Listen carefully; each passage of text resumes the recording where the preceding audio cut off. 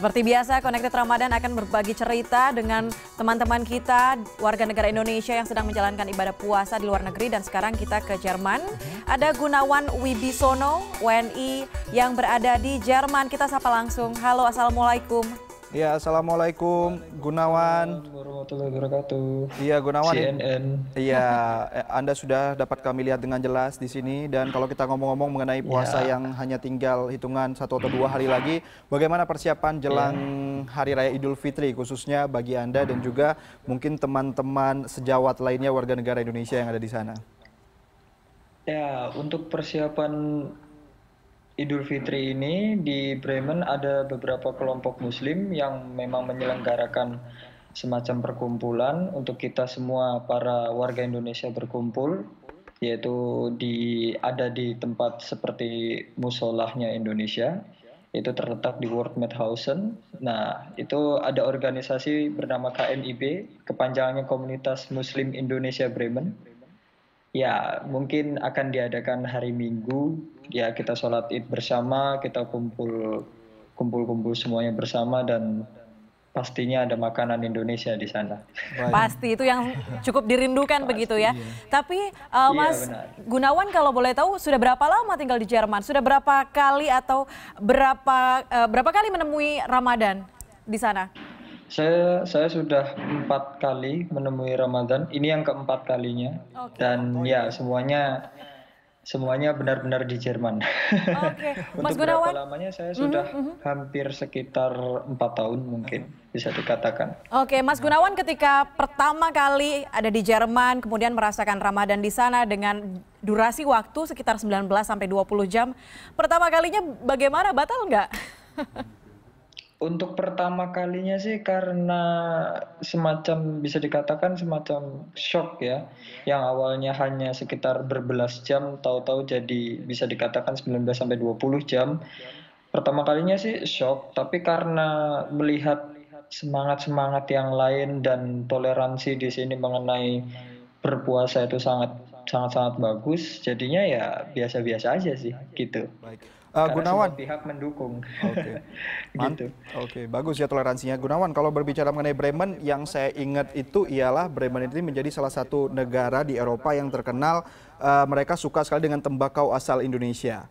Nah, Anda sendiri sebagai warga negara Indonesia ketika tiba di sana seperti apa eh, impresi masyarakat eh, setempat begitu juga mengetahui Anda dari Indonesia, ada juga Muslim dan juga Anda berpuasa. Kalau untuk seperti itu bisa dikatakan saya saat pertama kali datang di Bremen ini itu sangat benar-benar sangat senang. Karena yang bisa saya katakan eh, di mata kuliah saya pun di Bremen ini ada pelajaran bahasa Indonesia di mana orang-orang Jermannya mau belajar berbahasa Indonesia. Seperti itu. Dan untuk bisa dikatakan ya untuk seperti kayak mereka senang dengan kita semua dan kita pun di sini dari organisasi eh, maksud saya Persatuan Pelajar Indonesia juga sering mengadakan acara-acara Indonesia itu mereka juga sangat-sangat senang sekali bisa Oke. dikatakan seperti Mas itu. Gunawan, apakah ini artinya berarti ketika nanti eh, rencana KBRI mengundang para masyarakat begitu, masyarakat Indonesia yang tinggal di sana untuk eh, berlebaran di KBRI, ini warga lokal di sana juga turut diundang untuk mencicipi makanan khas Indonesia atau melihatlah paling tidak eh, bagaimana Indonesia merayakan eh, Hari Raya Idul Fitri ini? Karena ini sifatnya bukan suatu undangan dan ini sifatnya bersifat umum, jadi menurut saya semuanya bisa masuk-masuk saja gitu. Dan kebetulan pun saya juga ada teman yang asli memang orang Jerman dan ya kita memang bisa mengajak mereka semua untuk datang bersama dan mencicipi makanan Indonesia. Jadinya semuanya memang sangat ya bisa welcome sekali, bisa diterima sekali seperti itu. Kalau dari agama lain begitu misalnya? Kalau untuk dari agama lain, banyak juga yang melakukan hal tersebut.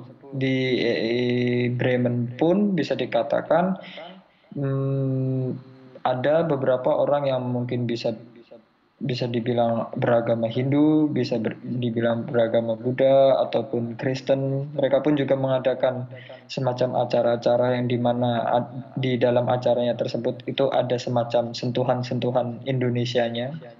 Itu mereka pun juga bisa diundang dan semuanya pun ya sangat sangat senang dengan semua festival yang ada di sini. Baik. Senang juga ya mendengarnya sebenarnya. Senang juga akan lebih senang lagi yeah. pasti kalau datang ke sana juga dapat salam tempel ya. Tapi kita bukan membahas salam tempel nih Gunawan. Gunawan kan empat kali puasa, empat kali Ramadan, eh empat kali Lebaran, lebaran. gitu ya. Kurang lebih parah daripada Bang Toib deh ini. Bisa tiga kali puasa, tiga kali Lebaran. Seperti apa sih suka iya, dukanya dengan durasi yang panjang dan juga uh, mungkin bisa dikatakan menahan kerinduan juga dengan keluarga yang ada di Indonesia ya. Apalagi mm-hmm. Bremen ini juga salah satu kota wisata di Jerman. Uh, mungkin harus jaga mata begitu, yeah. jaga hati. Seperti apa juga tantangannya untuk mencari makanan halal Benar. gitu Gunawan? Kalau di sini untuk makanan halal, alhamdulillah tempatnya banyak karena selain ya karena selain penduduk Jerman di sini pun juga banyak uh, orang-orang yang berdatangan seperti dari Turki, dari Maroko, mereka pun menjual makanan-makanan halal. Dan kalau untuk kerinduannya memang memang sangat beda sih merayakan Idul Fitri di Jerman dengan di Indonesia. Untuk seperti takbiran di sini pun ya tidak ada sih, tidak tidak ada takbiran, tapi bisa dikatakan kalau kita semua warga Indonesia yang ada di Bremen ini berkumpul itu sudah sangat-sangat menyenangkan karena semuanya sudah dianggap seperti keluarga sendiri di sini. Seperti itu. Baik, Gunawan Wibisono, keluarga Anda nambah dua, ada saya dan Puspa pastinya ya, karena Anda sudah bercerita kepada kita siap. di CNN Indonesia Connected Ramadan kali siap. ini.